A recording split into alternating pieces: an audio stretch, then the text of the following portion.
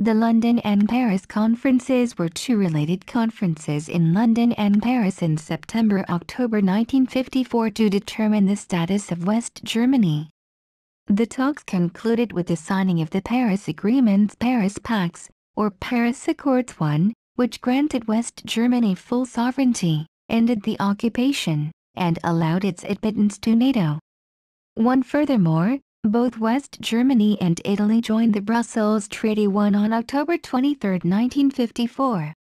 Two the agreements went into force on May 5, 1955. Two the participating powers included France, the United Kingdom, Belgium, the Netherlands, Luxembourg, West Germany, Italy, Canada, the United States, and remaining NATO members. Prelude Since the end of World War II, West Germany had been occupied by Allied forces and lacked its own means of defense. On July 23, 1952, the European Coal and Steel Community came into existence, bonding the member states economically. By 1951, fear of possible Soviet aggression in Europe led to preparation of an ill-fated European Defense Community EDC. EDC was a proposed joint Western European military force at the time favored over admitting Germany to NATO. The General Treaty German-Deutschland Vertrag of 1952 formally named the EDC as a prerequisite of the end of Allied occupation of Germany.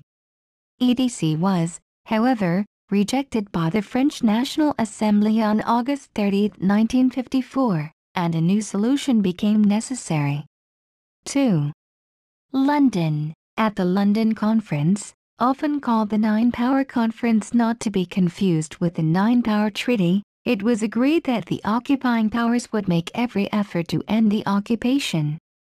3. The limits of German rearmament were also very important especially to France, which was still concerned with a powerful Germany.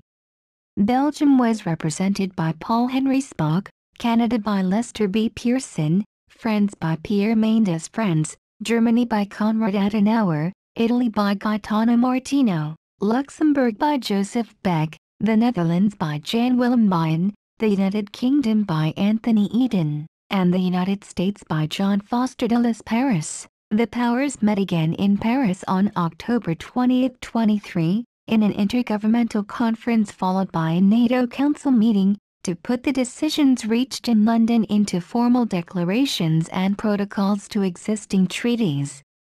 One protocol now.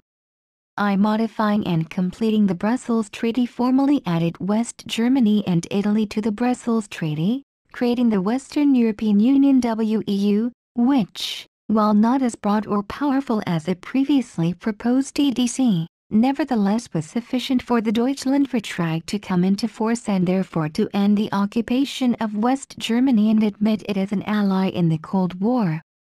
Altogether there were as many as 12 international agreements signed in Paris.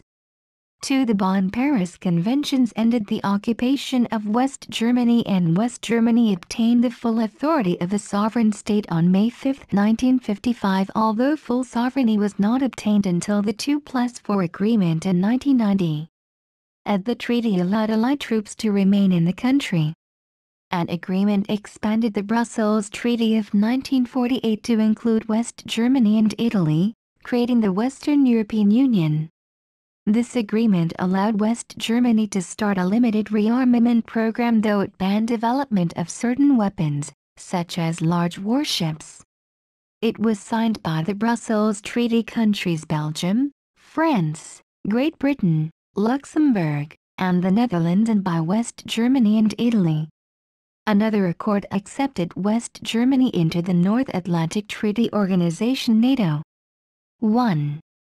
The negotiations on Saar status, only between France and West Germany, were held on the night before the conference. On October 1, 19 the territory had been essentially annexed by France and a referendum was set up to determine the will of its people. The outcome was that Saarland rejoined West Germany in 1956 to 1957.